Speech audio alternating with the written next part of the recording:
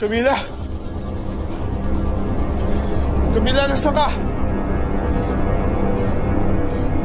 Camila, nasa ka?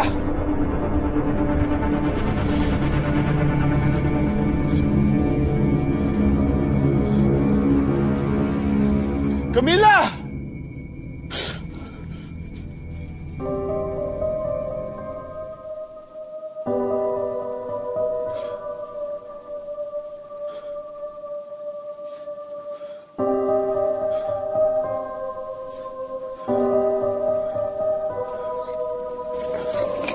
别래@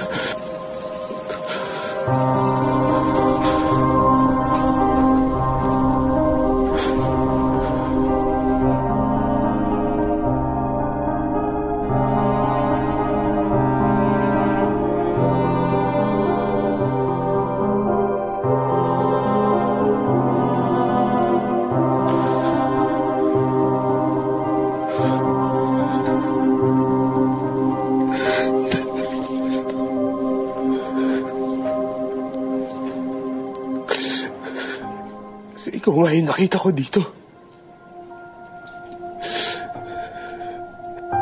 Sabi ko sa sarili ko,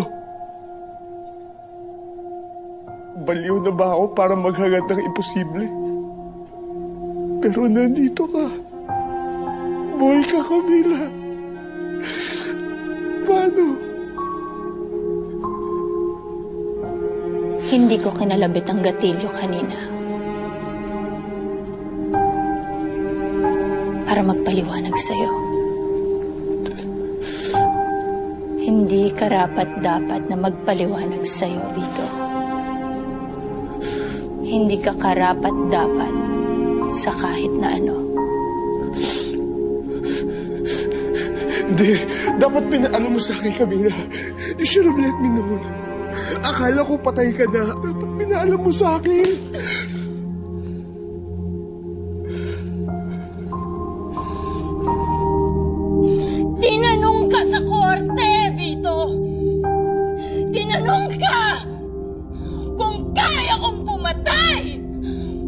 Anong sinabi mo?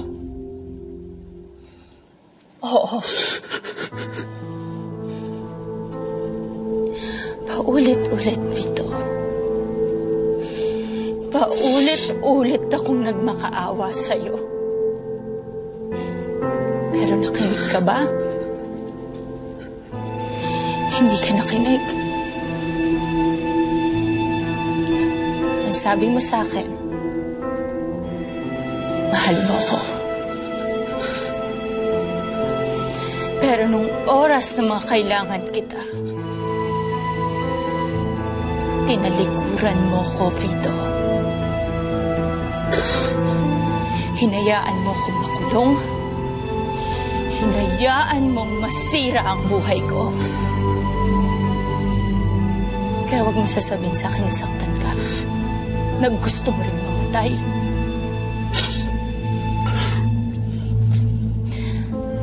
Dahil wala kang ginawa, Vito.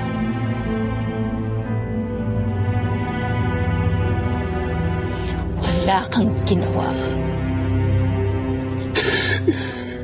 Camila, please. Sinubukan kita tulungan. Please, maniwala ka. Yan ang kailangan mong sabihin para gumaan ang konsensya mo. Tumulong ako, Camila.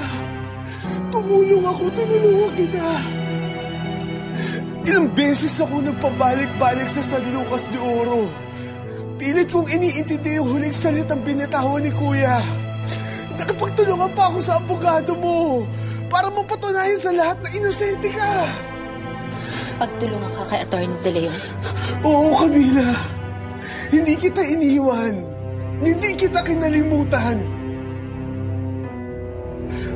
Walang araw na lumipas na hindi ko kayo iniisip ni Vida. Bye.